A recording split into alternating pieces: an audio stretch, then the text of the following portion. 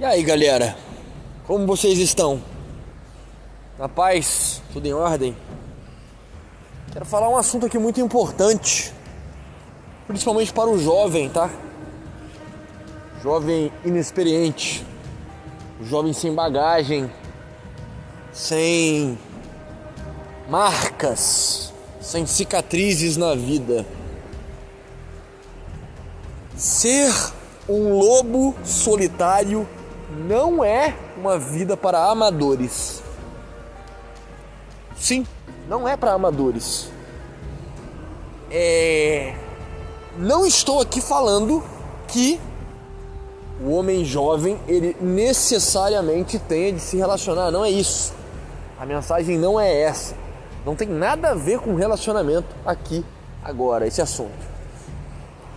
O que eu quero dizer com isso?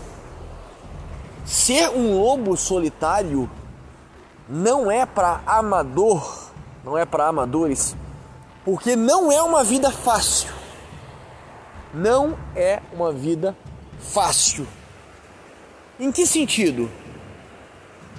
Um lobo solitário, para ele ter chegado a essa conclusão e de certa forma se afastado né, da alcateia das massas, de certa forma do excesso social, ele caminhou longos percursos, vivenciou várias experiências, sofreu derrotas, sofreu perdas. Ele com certeza teve experiências negativas na vida para ter chegado à conclusão de que a melhor vida que ele vai ter é caminhando por conta própria, caminhando em grande parte do teu tempo solitário. Então, você não escolhe, você não escolhe ser um lobo solitário você se torna um lobo solitário. Por quê? Porque, por que, que normalmente os lobos solitários eles são, né, no reino animal mesmo, vamos colocar, e até uma analogia com o ser humano, o lobo solitário é uma criatura com mais idade, com mais tempo de vida. Porque como eu disse no início desse áudio, são criaturas com marcas, criaturas com bagagem de vida.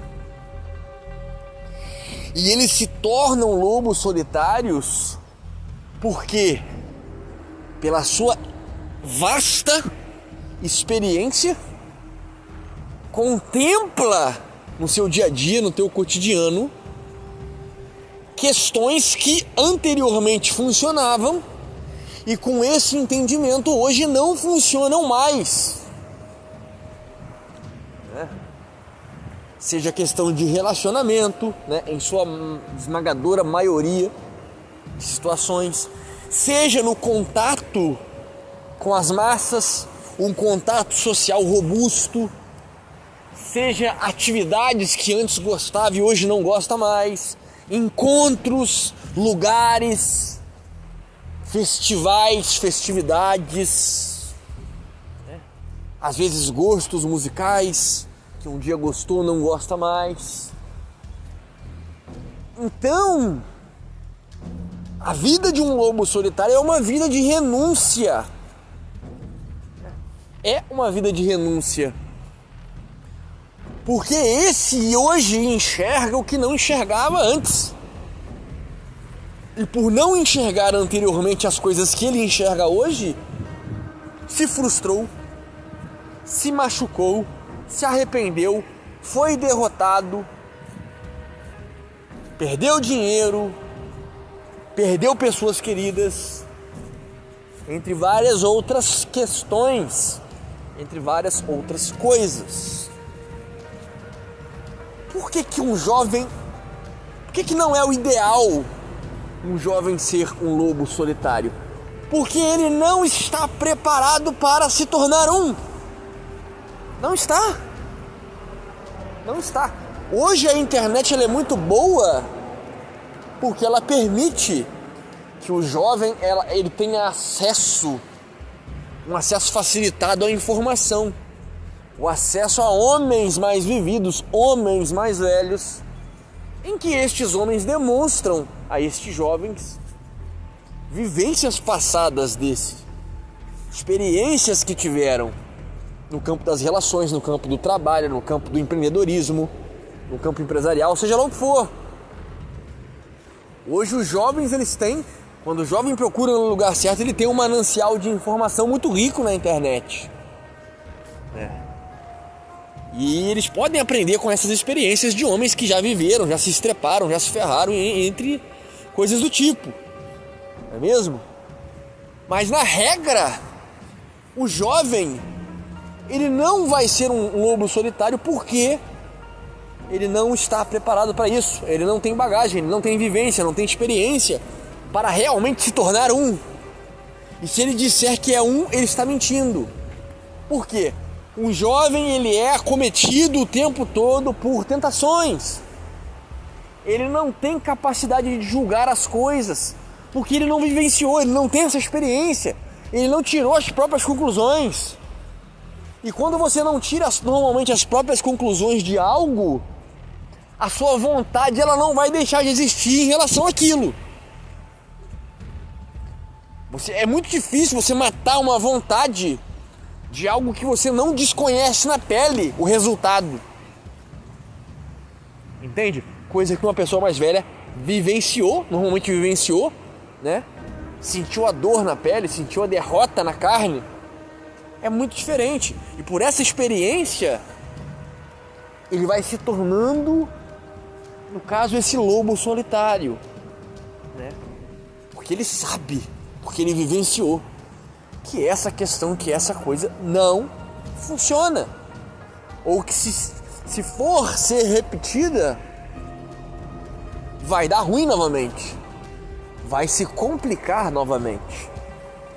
Então, de certa forma, essa pessoa mais velha, ela está capacitada profundamente em se tornar um lobo solitário. É. Diferentemente, muito diferentemente do jovem imaturo, insensato, sem essas experiências, não conseguirá, até pode se lançar, mas não terá a capacidade de se manter ali, devido a essa ausência de experiências, não é mesmo? Falando nessa questão de experiência, Caso desejem, eu deixo aqui no comentário fixado a minha obra Liberte-se Aforismos para uma Vida Épica. Livro esse com todo o conhecimento, com toda a sabedoria de grandes pensadores do passado de forma reduzida, de forma rápida, de forma simples, para toda pessoa que quiser conhecer. Conseguirá ter acesso a esses 100 pensamentos, esses 100 aforismos dos grandes homens do passado, que trata de autoconhecimento, conhecimento de si mesmo e conhecimento da vida que cerca a nós, porque nada nessa vida é mais valioso do que nos conhecermos e conhecermos a vida que nos cerca, as ciladas, as mentiras, os enganos, as artificialidades, as superficialidades. Liberte-se, aforismos para uma vida épica, sem pensamentos que irão transformar de uma vez por todas a sua vida. O link para esse livro, para essa obra fantástica, se encontra aqui no comentário fixado e com certeza vai mudar a tua vida, sem sombra de dúvidas. Né? Porque aqui quem vos fala é um lobo solitário.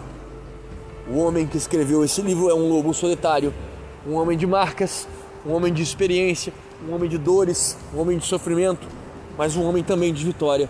E hoje, graças a Deus, pela solitude e pela paz, um homem transcendente um homem que caminha no seu próprio caminho de forma tranquila, mansa e em paz. É. Importante o homem entender que a vida de um lobo solitário não é fácil. Não é fácil. É uma vida de angústias, de dores, de sofrimentos, às vezes de desilusões. Mas uma coisa é certa na vida de um lobo solitário: este é possuidor de grande paz, de grande sossego, de grande liberdade. Talvez uma das questões mais buscadas nos dias de hoje e achada por poucas pessoas. Essa é de fato a vida de um lobo solitário raiz. É isso, amigos, irmãos Mectal. Stay out!